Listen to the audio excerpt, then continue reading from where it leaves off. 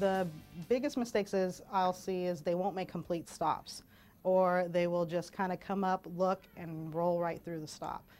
And people think that they've paused or that they've rolled to a stop and there's nobody in the intersection, and that's enough.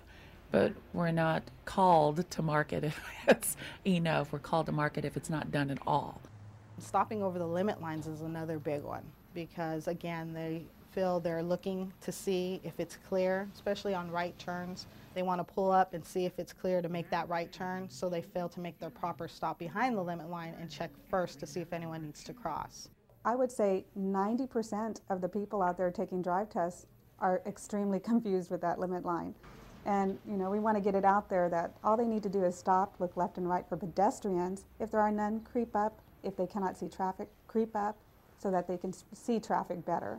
And then from that point, make their turns. A lot of times there are school buses on our particular route and our applicant will just drive right through with the red lights on. You have children crossing and that's an automatic fail because they didn't stop.